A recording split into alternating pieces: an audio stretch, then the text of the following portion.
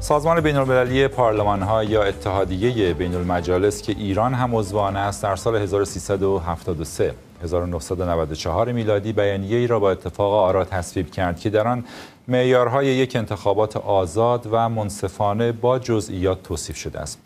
بر اساس این بیانیه همه افراد می توانند از فرصت برابر برای نامزدی در انتخابات برخوردار باشند. تمام افراد از حق عضویت در احزاب و سازمانهای سیاسی و یا تشکیل آنها برای رقابت در انتخابات برخوردارند. همه افراد و گروه ها می توانند آراء سیاسی خود را در مبارزات انتخاباتی به صورت آزاد تبلیغ کنند و از فرصت برابر در رسانه های عمومی برخوردار باشند و الاخر. آیا حقوق مصرح در این بیانیه توسط ایران هم پذیرفته شده است در انتخابات این کشور رعایت می شود؟ اگر تعریف انتخابات در این بیانیه را بپذیریم آیا آنچه که در ایران برگزار می شود را می توان انتخابات نامید؟ اگر نه تعریف انتخابات در ایران چیست و شیوه فعلی تا چه میزان جوابگوی نیازهای سیاسی جامعه است و تا کی می‌تواند دوام داشته باشد در برنامه امروز در این باره بیشتر صحبت خواهیم کرد با رامین پرهام نویسنده و از نیویورک عبدی کلانتری نویسنده و منتقد فرهنگی ما رو در طول برنامه همراهی خواهد کرد هر چند سال یک بار خیابانها در ایران پر می شود از این دست شعارها در همه این سالها کسانی از تحریم انتخابات می‌گویند و شناسنامه هایی که سفید هستند و بدون مهر 19 سال بعد از انقلاب اسلامی ورق برمیگردد.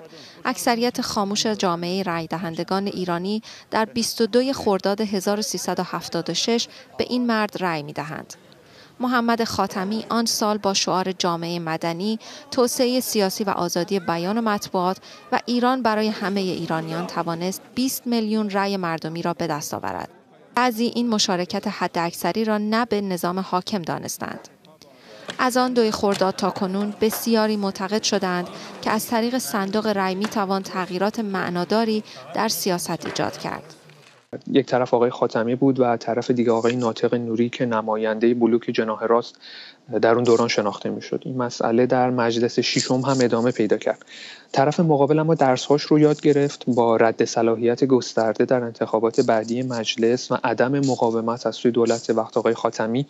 همچنین درگیری و دعواهای سیاسی در اون جناهی اصلاح طلبان در شورای شهر دیگه برای بخش بزرگی از مردم انتخابات تغییر بزرگی ایجاد نمی‌کرد. انتخابات محدود بودند و کاندیداهای اصلاح اصلاح طلب هم دیگه جذابیت سلف خودشون رو نداشتن در سالهای بعد اما مردم از عملی نشدن بسیاری از شعارهای اصلاح طلبان از صندوقهای رأی معیوز شدند.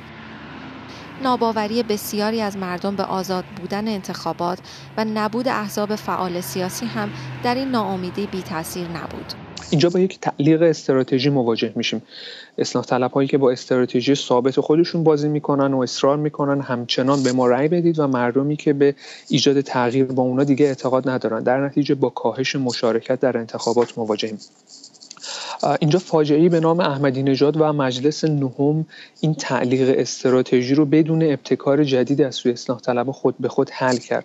اینکه مردم به صورت کاملا پراگماتیستی متوجه شدن که بالاتر از سیاهی هم رنگی هست و باز صندوق انتخابات با تمامی حذفها و رد صلاحیت ها اهمیت پیدا کرد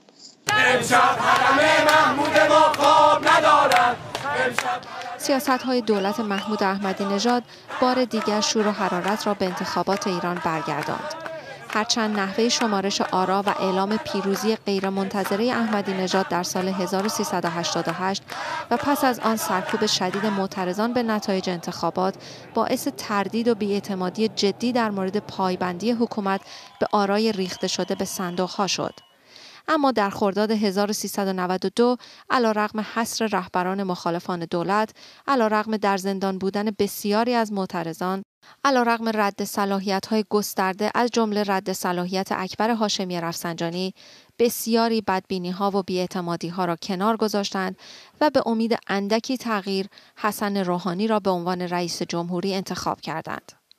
انتخابات روز جمعه مجلس شورای اسلامی و مجلس خبرگان هم یکی دیگر از انتخابات های شگفتآور در ایران بود. بسیاری از منتقدان بر این باورند که انتخابات در ایران نه آزاد است نه رقابتی و همیشه انتخاب بر سر بد و بدتر است. ولی در سالهای اخیر بسیاری از منتقدان در عین حال می‌گویند انتخابات این سالها نشان داده است که علیرغم همه محدودیت ها و موانع و رد صلاحیت ها جامعه ایران و مردم ایران به دنبال تغییر هستند و از هر فرصتی که امکانی هر چند اندک برای این تغییر فراهم کند استفاده می کنند و به همین دلیل است که می‌گویند صندوق رأی برایشان مهم است و از طریق صندوق های رأی است که با مسالمت آمیزترین شیوه گفتمان سیاسی حاکم در جامعه را به نقد می‌کشند و خواست خود را برای تغییر نشان می‌دهند. متشکرم از همکارم. مریم افشنگ اگر خطا نکرده باشم در ابتدای گزارش گفته شد 22 خرداد که طبعا دوم خرداد بود عذرخواهی می‌کنم. و اگر آنچه که هر دو سال یک بار در ایران برگزار میشه رو آیا طبق موازین بین المللی تعاریفی که به حال داره میشه رو شما بهش انتخابات در واقع خطاب می‌کنید؟ اگر نه فکر می‌کنید به چه اسمی باید در واقع نامید این رو؟ من با چند نکته در گفته شما مشکل اساسی دارم. و با مسئله انتخابات در جمهوری اسلامی ایران. یکی ریاضیات قضیه است. یعنی این مثال ساده. تا همین دو سه هفته پیش اصلاح طلبان و اعتدالیون مثل که اسمشون هست می‌گفتن که 99 درصد نامزدهای ما رد صلاحیت شدن. این ریاضیات خیلی می‌خوام واسه هم توضیح بدید که چجوری با یه درصد میشه انتخابات رو برد. من نشیدم حالا کسی بل... گفته باشه حالا شما حتما به اون سندی هم که فرمودید اگه اشاره کنید چت بتونم بگم. یا آقای برپنچی بهتر؟ نه 99 درصد که نه اینو که خب اگه نشینید خب خیلی مایه تاسفه. ولی چجوری با یه درصد می‌خونید که ما نمی‌خونید نه روزنامه شرق روزنامه کیهان چجوری با یه درصد میشه انتخابات رو برد؟ دو انتخابات معنی دار انتخاباتی است که نتیجه دار باشه. یعنی انتخابات به معنای متعارف کلمه در یک دموکراسی متعارف. دموکراسی دینی مقوله سواست. یعنی اینکه مردم نارضایتی خودشون از اوضاع و معیشت اقتصاد سیاست منطقه ناامنی اعتیاد فساد از طریق صندوق رأی بیان می‌کنن و موجب تغییر اوضاع و بهبود اوضاع میشه. ما در این 37 سال گذشته یعنی شما در این 37 سال گذشته تقریبا هر یک سال و چند ماه انتخابات برگزار کردید. کدوم تغییر در ایران ایجاد شده؟ کدوم وضعیت در ایران بهبود پیدا کرده؟ وضعیت اعتیاد بهبود پیدا کرده؟ وضعیت فساد بهبود پیدا کرده؟ وضعیت جایگاه منطقه‌ای ایران بهبود پیدا کرده؟ وضعیت جایگاه بین‌المللی ایران بهبود پیدا کرده؟ اقتصاد ایران بهبود پیدا کرده؟ فرهنگ ایران بده کدومش بهتر شده؟ همش بدتر شده.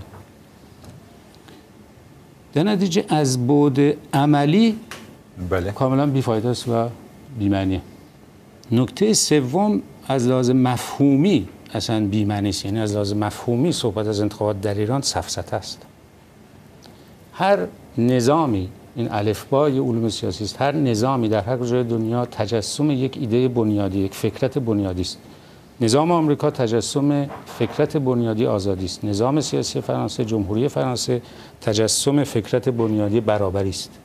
در ایران جمهوری اسلامی تجسم فکرت بنیادی ولایت فقیه که در رساله خارج فقه حکومت اسلامی آقای خمینی نظری پردازی شده.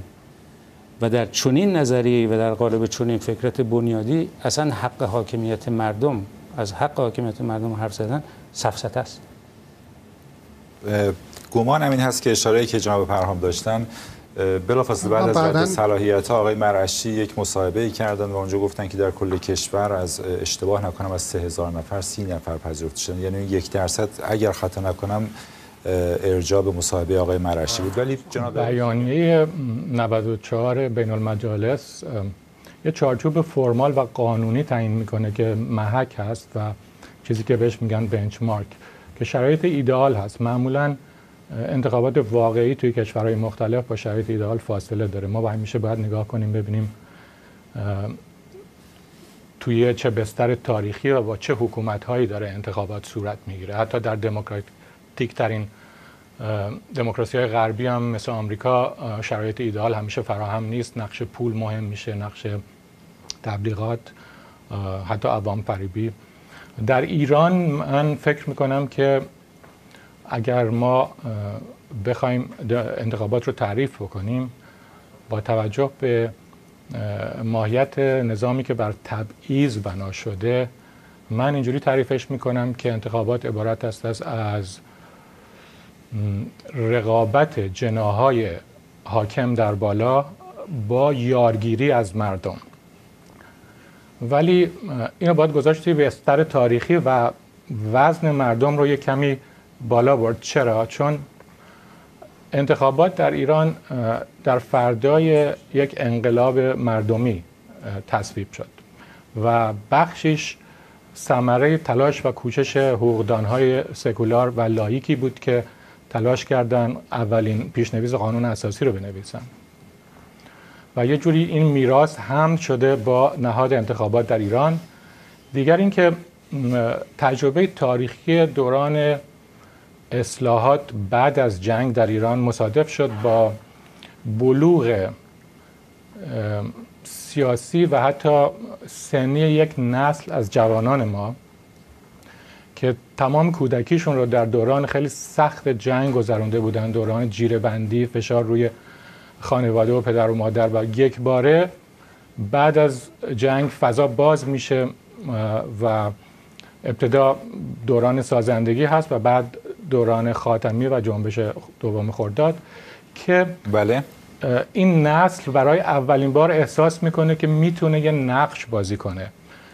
در اون فضایی که نسبتا باز شده. این اولین تجربه زنده و جدی این نسل هست که جدی داره گرفته میشه و باید اینو به حساب آورد. و از اون به بعد این یک دوران تاریخی و یک نقطه رجوع نوستالژیک هست برای تمام نسل جوان 20 ساله و 30 ساله ما که بخششون هنوز وفادار موندن و توی انتخابات شرکت می‌کنن. بنابراین من این حالت پارادوکسیکال انتخابات رو می‌بینم. از یک سو انتخابات یعنی مشروعیت بخشی به یک نظام مبتنی بر تبعید تبعیض و سرکوبگر و از سوی دیگه این صدای مردم از پایین که دارن حق شهروندی خودشون رو در بدترین شرایط اجرا می‌کنن. ممنونم آقای کلانتری آقای پرهام. ببین من هم قیاس هایی که اشاره کردید همتون جناب کلانتریان از نیویورک قیاس ملفارقه یعنی مقایسه جمهوری اسلامی ایران و انگلستان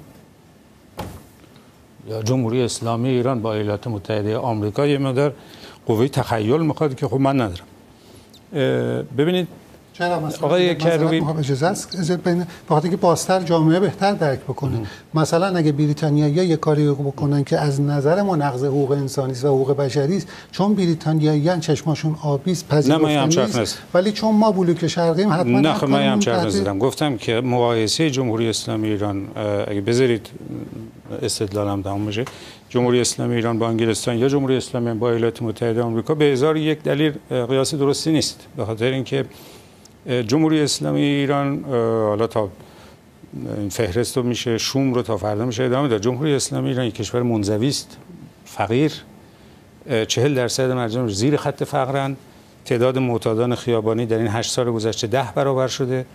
در منطقه هیچ کس قبول نداره اون کشور رو مگر شیخ حسن نصرالله یا بشار اسد مثلا یا خانواده بن لادن که مدتی در تهران بودن.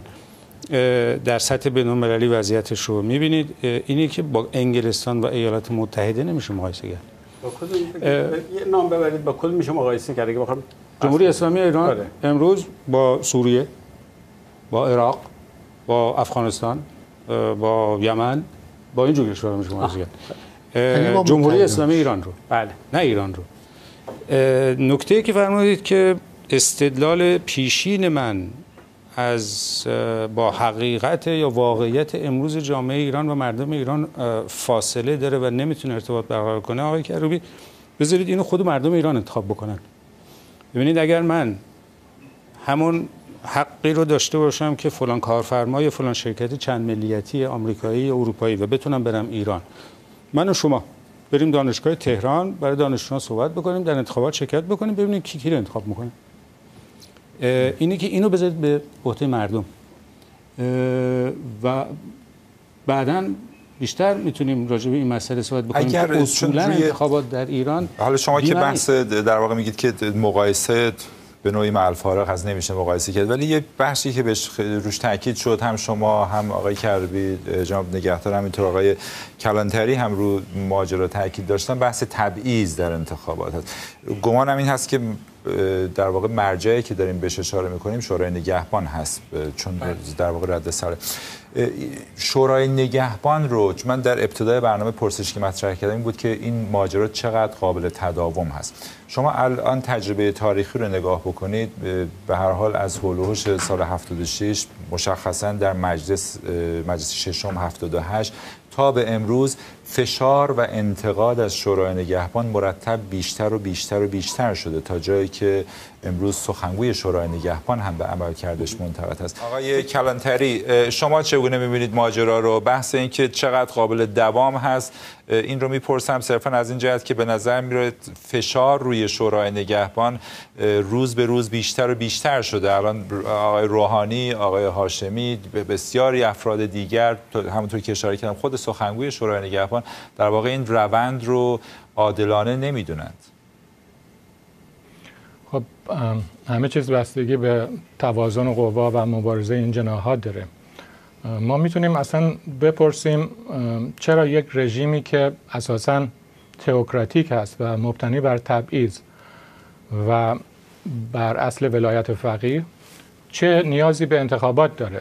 می‌تونه تعطیل کنه مثل, مثل عربستان و سعودی بشه. اینجاست من فکر می‌کنم باید برای اینکه ارزیابی منصفانه اساسا از نقش نهاد انتخابات داشته باشیم باید همه چیز رو بذاریم توی چشمانداز تاریخی. من هم با توجه به روند اوضاع نسبت به آینده دموکراسی و انتخابات زیاد خوشبین نیستم. ولی در نظر بگیرید که خود انتخابات ثمره بخش غیر دینی و غیر مذهبی نیروهای دخیل در انقلاب بهمن 57 بود. کسانی که پیشنویس قانون اساسی رو نوشتن حقوقدانای سکولاری بودن که از جبهه ملی می آمدن از کانون وکلا می اومدن و بعد تو مراحل بعدی بود که مجلس مؤسسان که اسمش عوض شد و خبرگان شد اصل ولایت فقیه توسط فقها تحمیل شد به اون پیشنویس. ولی یه بخشی از اون خصلت سکولار انتخابات مونده. و من فکر می‌کنم که این تجربه به جایی نرسیده که بتونن هیئت حاکمه به کلی تعطیلش بکنه. در هیئت حاکمه ایران ما سه جناح داریم دست کم. یک جناح تئوکراتیک داریم که از فقها فقهای خیلی سنتی بله. و مرتجع تشکیل میشن و اینا می‌خوان دولت تئوکراتیک شبیه عربستان داشته باشن با یک سلطان اون بالا. یک یک جناح انقلابی هزاره‌ای آخر زمانی هست که اینها هنوز شور انقلابیشون رو حفظ کردن و می‌خوان بتازونن به جلو و خیلی پاپولیست, پاپولیست هستن و خطرناکن. این دوتا جناح به انتخابات نیاز ندارن. ولی یک جناح دیگه هم هست که بازمانده های نهضت آزادی جبهه ملی و نیروهای ملی و مذهبی هست که در اولین دولت بعد از انقلاب سر کار بودن و اینها تنها نیروی قوه‌ای که دارن اقتصاد بازار هست و سرمایه‌داری که ایران بهش نیاز داره. و این پایه‌ای میشه که این جناح همیشه اعمال نفوذ کنه بله. و انتخابات تا اندازه زیادی با توان و قدرت این جناح پیوند خورده. همطوری که اشاره شد فکر کنم اجماع هست بین هر چهار نفر. تا یعنی از ابتدای انقلاب به هر حال نظارت یا نظارت استثوابی بعدتر بخشی از بدنه کارشناسی کشور رو به طور کلی گذاشته کنار. یعنی تنها دو جناح حالا چپ و راست درون حاکمیت بودن که تونستن رقابت بکنن. امروز در اون روند تاریخی به قول آقای کلانتری اومدیم رسیدیم به یه جایی که جناب نگهدارم اشاره کردن. یک بخش از نخبگان یک جناح رو شورای نگهبان قلقم می‌کنه می‌ذاره کنار و دیگه کسی عملا نمیمونه. یک درصد از در واقع نامزدهای اصلاح طلب می‌تونن رد بشن. حالا بعدا البته 40 50 نفر اضافه شدن حالا بگیم دو درصد. یک بخش رو از در واقع نخبگان یک جناح دیگر رو هم مردم می‌زنند قلقم می‌کنن می‌ذارن کنار.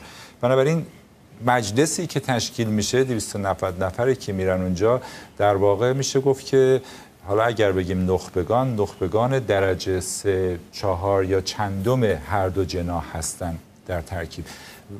آسیب شناسانه اگر بخوایم نگاه بکنیم این بدون شک بزاعت کارشناسی کشور نیست. حتی بزاعت کارشناسی دو جناح درون سیستم هم نیست.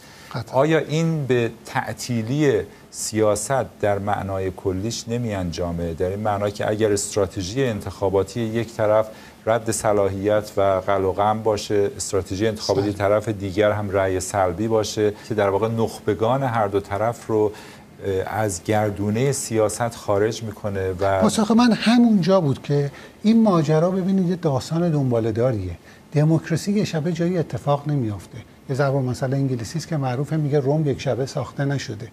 درسته که مگر شب بعد از انقلاب وقتی که قانون اساسی نوشتیم بنابر این بود که تمام ساختارهای ما به نظام دموکراتیک برگرده. واقعیت اینه که بار یک شب بر نمیگرده. این process و من معتقدم این مشکل رو مردم ما اتفاقا امروز درک کردن.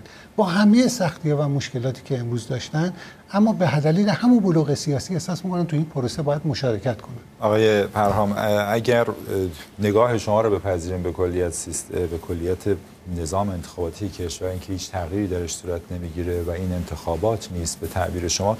در اون صورت چرا فکر می‌کنید که به هر حالی می‌تونه یک شور ملی بر بیانگیزه؟ چون نمیشه بگیم که حالا شاید هم بشه ولی منظورم پرسش اینجاست که آیا واقعا میشه این رو پذیرفت که میلیون ها نفر دوچار یک شور انتخاباتی کاذب دارن میشن هر دو سال یک بار. اگر تغییری رو احساس نمی‌کنن چرا دو سال دیگه مجددا میرن پای صندوق؟ در اینکه خب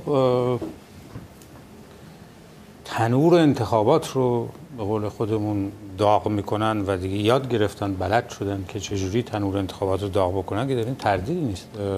تنور انتخابات رو داغ می‌کنن. نه من مقصدم این هست که به حال وقتی میلیون ها نفر صحبت از میلیون ها نفر یعنی افرادی که به هر حال تصمیم می‌گیرن حالا بخششون ممکنه چون فرزند یکی دیگه تصمیم گرفته پس این هم ت... ولی اینکه تعداد زیادی از آدم ها هر دو سال یک بار این تصمیم رو می‌گیرن که برن پای صندوق این رقم هم در یک پروسه تاریخی نگاه بکنید به نظر بیشتر داره میشه کمتر نمیشه. فکر نمی کنید که اینها به هر حال یک تغییری رو احساس می‌کنن که دارن میرن پای صندوق؟ تغییر رو می‌خوان. در گزارشی هم که در اول برنامه همکار شما پخش کرد به این نکته اشاره کرد که مردم ایران عمیقا خواهان تغییر هست منم معتقدم که مردم ایران عمیقا خواهان تغییر هستن. چطور ممکنه که مردم کشوری که فساد درش سیستمیک شده یعنی فساد شده خود سیستم. چطور ممکنه مردمی که اعتیاد رو و از همپاشدگی خانواده ها رو به روز به چشم دارن می‌بینن؟ کشوری که اقتصادش اخلاقش همه چیزش رو به فروپاشی است. نظام بانکیش بر لبه پرتگاه ایستاده شده چطور در چنین کشوری مردم تغییر نخوان؟ بخشی از مردم ایران که بخش بزرگی هستن بله هر یک سال و نیم یک بار به طور متوسط پرسش من هست که اگر اینها تغییر رو می‌خوان اگر شما میپذیرید که اینا تغییر رو می‌خوان و به نظر میاد که این تغییر رو از صندوق می‌خوان چون میرن پای صندوق رای میدن. این... اگر شما در واقع این استدلال رو شما رو بپذیریم که هیچ تغییری صورت نمی‌گیره پس چرا این افراد این کار رو می‌کنن؟ برای اینکه مردم برای اینکه مردم هم فکر می‌کنم این مسئله عقل سلیمه. همه جا همینجوری بوده. مردم خود من همینجوری هستم. خود شما احتمالاً همینجوری هستید. ما می‌خوایم با کمترین هزینه به نتیجه برسیم. و تمام تلاشمون رو می‌کنیم که با کمترین هزینه به, نتیجه برسیم. تا روزی که می‌بینیم به نتیجه نمی‌رسه. و اون روز اون وقت روی کرده توده ها ممکنه متفاوت باشه. نمونهش رو در سالهای اخیر هم دیدیم. در, در همین سالهای آغازین قرن 21 دیدیم یک دست فروشی در خیابان که دیپلم هم داره دانشگاه هم رفته و دست فروش شده خودش رو در یک دهکده در روستای آتیش می‌زنه تمام کشور میزه به هم. تا آنجا که ممکن است مردمی که خواهان تغییر هستند از راه مسالمت آمیز عقل سلیم هم هست. همه اینو می‌خوان. از راه مسالمت آمیز با هزینه هرچه پایین تر ولی وقتی که نشد اون وقت دیگه تضمین نمیشه کرد که بعدش چه خواهد شد. اگر همین رو بخوایم در واقع همین مسئله تغییر از طریق صندوق رو ادامه بدیم آقای نگهدار شما فکر می‌کنید که چون بحث این شد که ضرورت تغییر قانون انتخابات رو شما فکر می‌کنید که الان داره به شدت احساس میشه. فکر می‌کنید آیا این ضرورت از طرف کسانی که می‌تونن منشأ اثر باشن؟ چون فرض شما اگر به این نتیجه رسیده باشید ممکنه که مشخصا نتونه در عمل این اتفاق بیفته. ولی در داخل ایران کسانی که این نیروی سیاسی رو دارن که بتونن این تغییر رو پیش ببرن چقدرشون به این نتیجه رسیدن و بتونن این کار رو انجام بدن؟ من این سوال شما رو آینده به قول شما من این سوال شما رو وصل می‌کنم به دریافت یا برداشتی که آقای پرهام از سیستم انتخاباتی و تاثیر انتخابات در ایران دارند. ایشون تصور می‌کنند که انتخابات بالاخره می‌رسه به اون جایی که انتخابات جواب نمیده و حالا راه حل های دیگه یا اون دستفروش تونسی در ایران پیدا بشه. یک همچین ذهنیتی مطلقا در ایران وجود نداره. یه همچین انتظار ظهور یک گاریچی که مثلا به هم بریزه و بعد مملکت به هم بریزه. ایران تمام این مسیرها رو پشت سر گذاشته. امید من به اینکه قانون انتخابات ممکنه در روی میز مذاکره جناهای اصلی قرار بگیره بر این جمعبندی قرار داره که حتی درون شورای نگهبان زعمای جناه راست امروز می‌بینند که روش ها و راهبردهایی که برای مدیریت مهندسی حالا میگن هرچی مدیریت انتخابات در نظر گرفتند اینا دیگه جواب نمیده کار نمی‌کنه و یه حالت بومرنگی پیدا کرده. و می‌زنه در صحبت شما و ایشون هم بود که می‌زنه و طرف خود چهره طرف هم زخمی می‌کنه و نمی‌تونه وایسه که چجوری توجیه بکنه که آقای یزدی مثلا چی شد آقای مصباح چی شد؟ اینا قرار بود ایدئولوگ ها و سران این نظام باشند اگر ما دفعه بعد بخوایم باز هم تنگ تنگ بکنیم این واکنش به حالت سونامی در میاد. اینا دارن اونا حس می‌کنن. در مطبوعاتشون می‌بینید که دارن میگن این سیستم کار نمی‌کنه. من فقط روی مسئله نظارت استثبابی نیست که ایستادم. ببینید در تهران یک شهروند تهرانی 46 رأی به صندوق میندازه. و اگر این رو شما برید در اردبیل مثلا نگاه بکنید می‌بینید که مثلا در یک دونه رأی هم بیشتر یک دونه رأی داره و یک شهروند رو شما در تهران 46 به 46 رأی میندازه به صندوق دیگه. به 46 نفر رأی میده و بعد 30 نفر حذف می‌کنه و کسی که در فلان شهرستان هست یک نفر رو فقط می‌تونه اون هم اگر رقابت نظام انتخاباتی کشور باشه آقای نگهدار تا امروز هر وقت قانون انتخابات تغییر پیدا کرده در جهت تضییقات بیشتر بوده. راحتتر نشده سختتر شده. از کجا در یکی دو جمله از کجا شما مطمئنید که این بار اگر تغییری بدن به هر حال اشاره شد که منفذی باز شده مردم هم می‌تونن به هر حال اراده خودشون رو اعمال بکنن. در جهت سلبی من یک فس... نقطه خط فاصل می‌ذارم. اون دو خرداد 76 به در گزارش شما هم هست.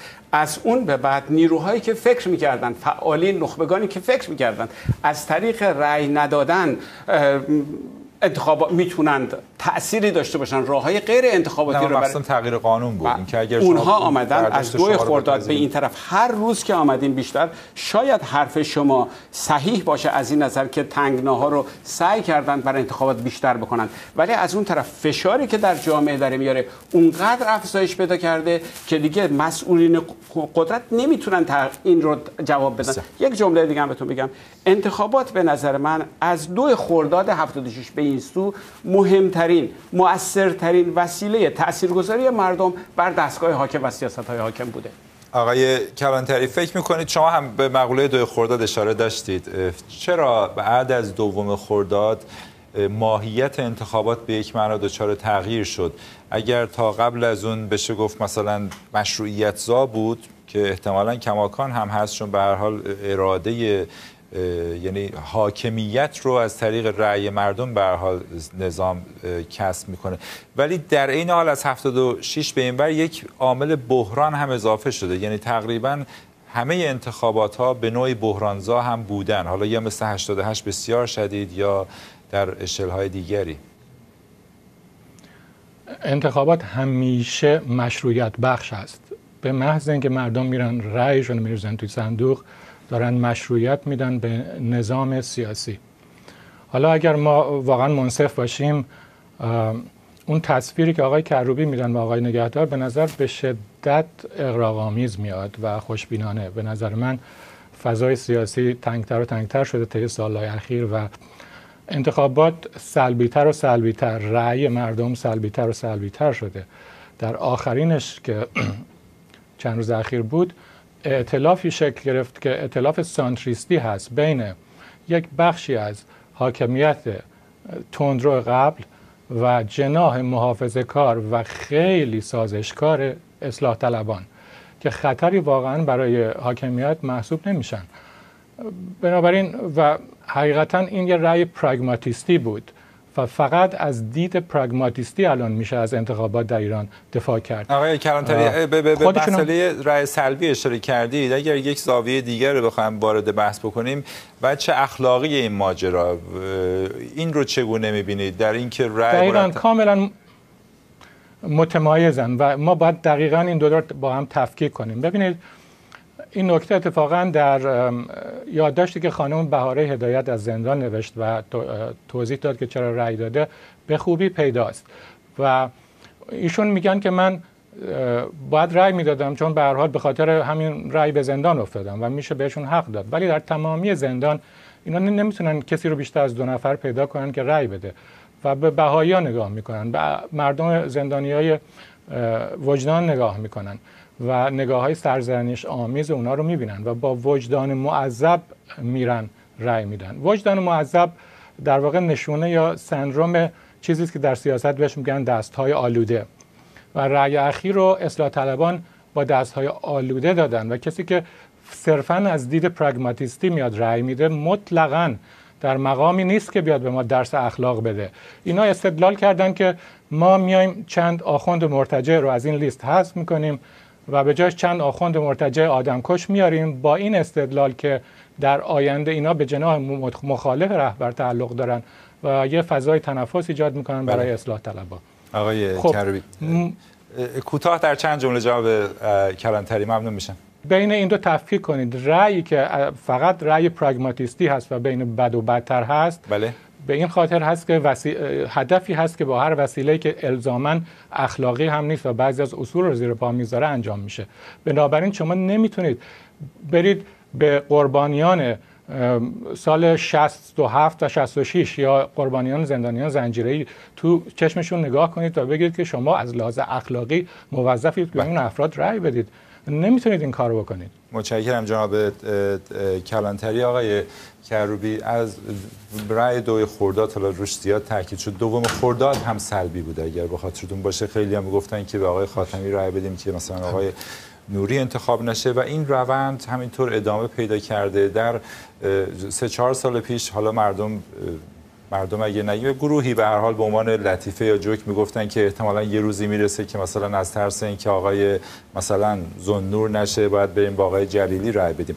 این اتفاق بعضی ها معتقدن که به هر حال در این انتخابات اگر اون موقع لطیفه بود الان اتفاق افتاد. اینکه مثلا در مورد مجلس خبرگان به آقای فرض کنید دوری یا آقای ری شهری رای داده بشه تا مثلا آقای جنتی یا مصباح انتخاب نشن.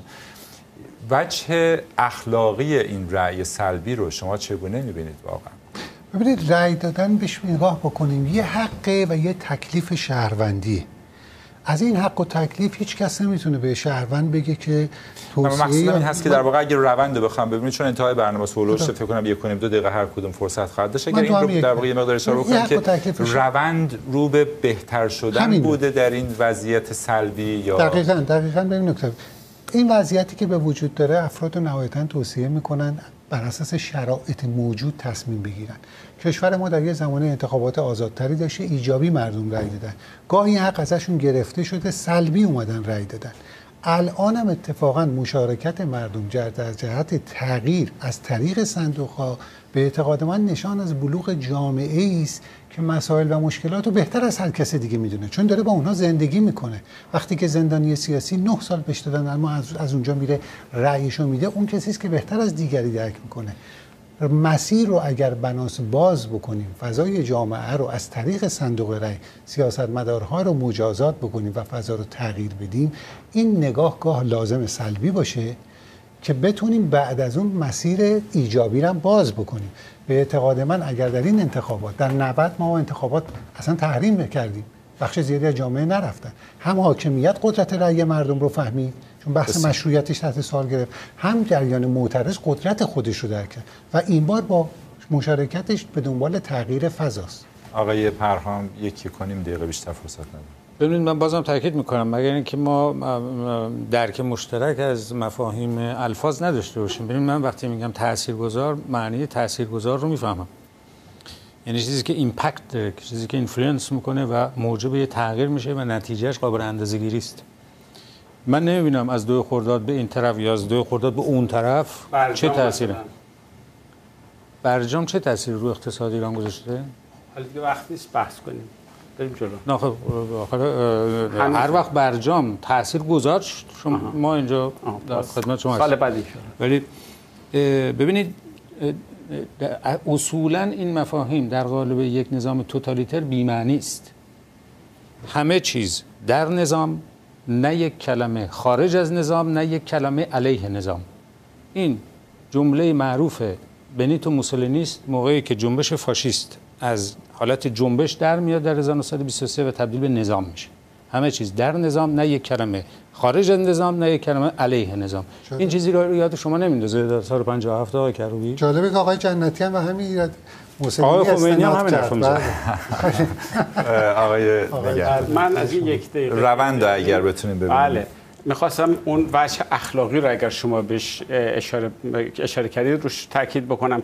چون به نظر من تعداد زیادی از شهروندان ما روزهای سختی رو برای تصمیم گیری گذروندن. من جنبه اخلاقی رو صرفا از جای گفتم که چون از 76 به این سو تقریبا همه انتخابات آقای روحانی هم همین بود. رأی سلبی نه این, این دیگه آخه یعنی بحثی که آقای کلانتری کردند که شما جلوی قربانیان قتل‌های زنجیره‌ای می‌گذارید که قاتلین شما رو به قاتلین رأی میدی یا به اینکه جنت نباشه دیگه. این موضوع به نظر من تصمیم گیری فوق العاده پیچیده است به لحاظ روانی کسی که می‌خواد تصمیم بگیره بره جلو.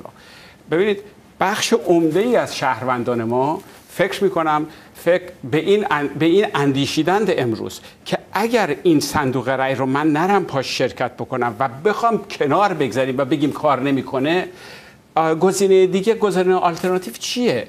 و به کشورهای همسایه نگاه می‌کنن. به راه هایی که گروه های مخالف با انتخابات تحریمگر دارن عرضه می‌کنن نگاه می‌کنن و میگن اون غیر اخلاقی تری که کشور رو به این طرف سوق بدیم. اونجا سرنوشت یک ملت میره زیر سوال. و کسانی که اون طرف ایستادند و نیامدن رأی بدند که بخش عمدهش اتفاقا در تهران هستند چون تهران سیاسی در این شهر بوده و بیشتری صدمه رو اتفاقا از رفتاری که شورای نگهبان و حاکمیت رو کردن دیدند اونها اون گزینه آقای کلانتری رو انتخاب می‌کنن و منتظر میمونن تا ببینن چی میشه. من فکر نمی کنم اونا هم یک آلترناتیو جدی سیاسی رو میز داشته باشن. آقای کلانتری. آقای کروبی طوری میگن که زندانی سیاسی رأی میدن که انگار همه زندانی سیاسی صف کشیدن که رأی بدن. ما نمی‌تونیم یه جناح از حاکمیت رو معادل جامعه مدنی ایران بگیریم. جامعه مدنی ایران الان توی زندانه و رأی هم نداده و نمیده. در مورد گفته آقای نگهدار هم عرض کنم که مسئله پیچیدنی نیست. در رابطه با قربانیان زندانی زنجیری یا قربانی دیگه در جمهوری تز... تبعیض. من از شما می‌پرسم شما می‌تونید توی چشم پرستو فروهر توی چشم چه می‌دونم سوراب نگاه کنید و بهش بگید که از لحاظ اخلاقی تو باید بیای رأی بدی.